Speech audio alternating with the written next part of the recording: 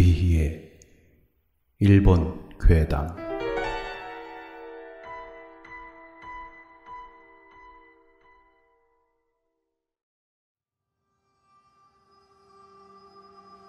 욕실의 구멍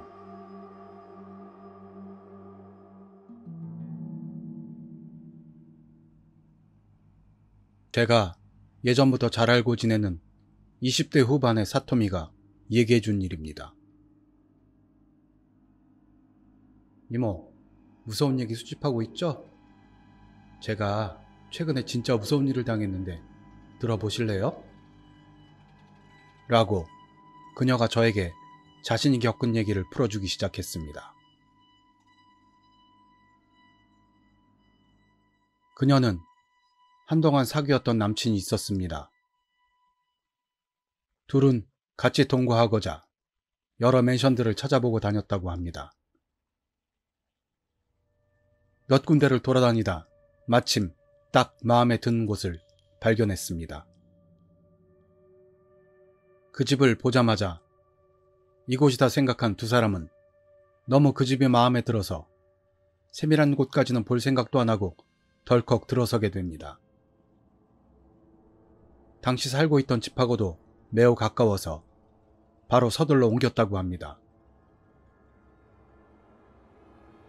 근데 이사 후 자세히 집안을 들여다보니 욕실 벽에 커다란 문 같은 게 있었습니다. 손잡이 같은 것도 달려 있었다고 하네요. 이게 뭐지? 처음 왔었을 때는 몰랐었는데 수납 공간 같은 건가? 에? 여긴 욕실이잖아. 습기 때문에 다 젖어버릴 텐데. 됐고, 일단 열어보자. 손잡이 같은 것을 잡아당기자 덜컹 하더니 그게 열리는 겁니다. 열린 안쪽은 생각했던 것보다 훨씬 공간이 컸습니다. 냉장고 같은 것도 들어갈 만한 높이와 깊이였다고 합니다. 이, 이게 뭐야? 이상하네. 안쪽에 콘크리트도 다 나와 있어. 의문에 빠진 두 사람은 부동산에 전화를 걸었습니다. 이런 게 있는 걸 몰랐었는데 처음에 설명도 제대로 들은 게 없으니 좀 봐줘요.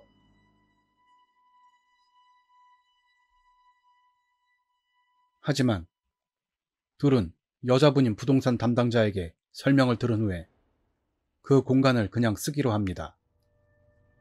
그분이 말하기를 죄송해요. 저희도 설명이 부족했네요. 여기는 그냥 편한 대로 쓰세요. 받침대 같은 걸 써서 안에다 샴푸나 목욕용품 같은 거 넣고 쓰면 좋을 것 같네요. 사토미 씨는 그럼 받침대를 사서 그렇게 쓰자고 말하려고 하는데 남친이 이거 한번 들어가 보고 싶은데 어때? 하면서 그 안에 들어가더랍니다. 사토미가 이 문 닫으면 못 나오는 거 아니야? 하면서 장난으로 문을 닫았는데 갑자기 안에서 으 하고 소리를 지르는 겁니다. 그리고 문을 열고 뛰쳐나오는데 얼굴이 새파래져서는 사토미에게 야, 너 뭐 하는 거야? 하며 화를 냈습니다. 사토미는 아, 화났어? 미안, 미안. 장난이었는데 잘못했어. 괜찮아? 라며 그날은 그렇게 지나갔습니다. 그런데 그 일이 있고 나서 어떻게 된 일인지 남친이 그 구멍에 들어가기 시작하는 겁니다. 사토미가 일이 늦게 끝나 귀가가 늦어지고 남친은 일찌감치 일을 끝내고 먼저 집에 오게 된 날, 사토미가 다녀왔어. 인사를 건네며 문을 열고 들어봤는데 어서 와 하며 답을 하는데 소리가 먼 곳에서 들리는 느낌이 났다고 합니다. 응? 어디 있어? 어디야? 라며 소리가 나는 곳으로 가봤더니 그 욕실의 구멍 속에 남친이 알몸으로 들어가서 머리만 빼꼼 내놓고 어서 와 하는 겁니다. 뭐 하는 거야? 기분 나쁘게. 어서 나와. 라고 불쾌해진 그녀가 남친에게 뭐라 하자 쭈뼛거리며 나왔습니다. 뭐 하러 거긴 들어가 있는 건데?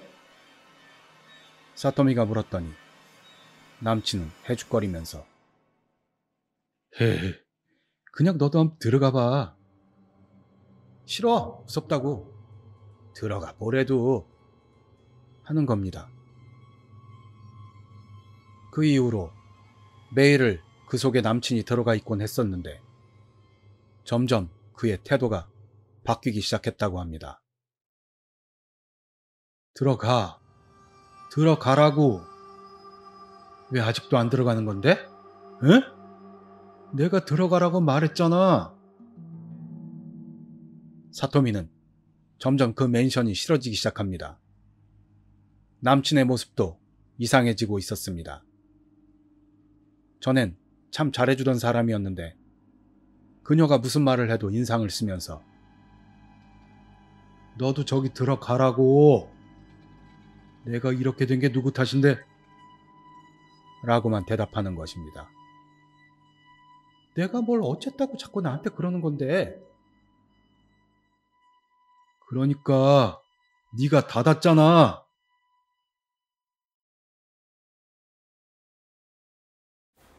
그러던 어느 날 밤, 일이 너무 늦게 끝나서 밤에 집에 돌아온 사토미가 다녀왔어 하니까 또 욕실 쪽에서 어서 와 하는 소리가 들립니다. 또냐? 또 거기 틀어박혀 있는 거야? 생각하면서 됐으니까 빨랑 나와 라고 짜증을 냈습니다. 답이 없습니다.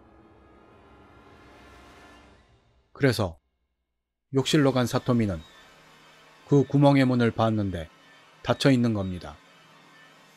그녀는 문을 두드리면서 안에 있잖아 했는데 아무 소리도 안 들립니다. 휘잉 하는 바람 소리만 들립니다. 이상하게 생각한 사토미는 그 문을 열었습니다. 그러자 바람 소리도 사라지고 안에는 아무도 없었습니다. 그리고 그날 남친은 돌아오지 않았다고 합니다. 걱정이 된 사토미는 스마트폰으로 계속해서 연락을 시도하고 문자도 보내봤지만 읽지도 않았다고 합니다. 다음 날 그녀는 남친의 지인들에게 그의 행방을 물어봤지만 모르겠다는 대답 외엔 들을 수 없었다고 합니다. 그리고 그는 계속해서 집에 돌아오지 않았답니다. 그래서 그의 고향집에 전화를 걸어봤는데 집에도 돌아오지 않았다는 겁니다.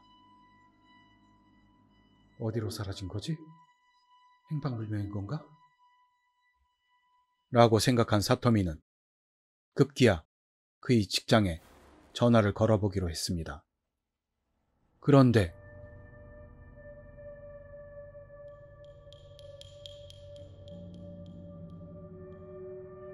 그는 출근해서 일을 하고 있다는 얘기가 돌아옵니다.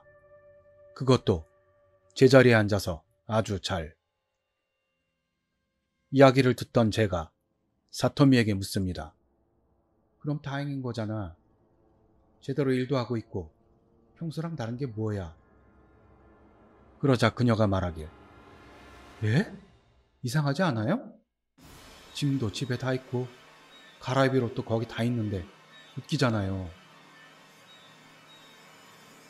그 이후로 그와 결별하기로 생각한 사토미는 남친의 엄마에게 전화를 해서 자기도 그 집을 나갈 거고 남친도 연락이 닿지를 않으니 그의 짐을 좀 가져가 달라고 얘기합니다. 그래서 남친 엄마가 와서 짐을 다 빼갔어요. 저도 더 이상 그 맨션에 살지 않고요, 이젠. 그 이야기를 듣고 저는 이제 사토미가 그 남자를 다 잊었겠구나 생각하면서 제 생각을 말했습니다. 그러자 사토미가 말하기를 근데 이모 그 사람한테서 전화가 오기 시작해요. 말하는 게 무서워서 착신 거부를 해놨거든요. 근데도 전화가 와요. 그 사람 엄마한테도 연락이 왔는데 그 사람하고 절대 문자도 하면 안 된다고 그래요. 근데 지금요. 그 사람이 슬슬 전화할 때가 된 것 같네요. 라고 말이 끝나기 무섭게 사토미의 스마트폰이 울리는 겁니다.